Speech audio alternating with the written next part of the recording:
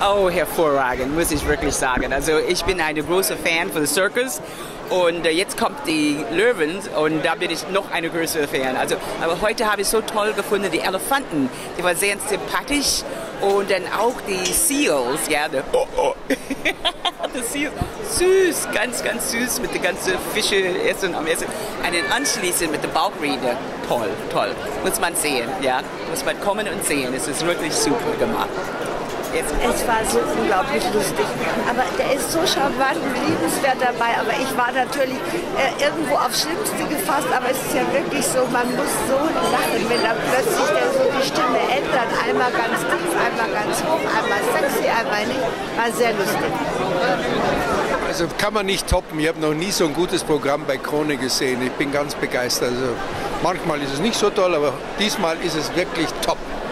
Die heutige Vorstellung ist unwahrscheinlich gut.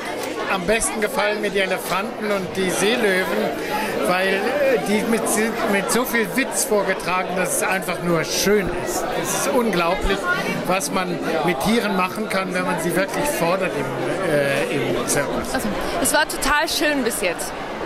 Also wir hatten Spaß und äh, meine Schwester und ich haben ein bisschen Angst vor Clowns.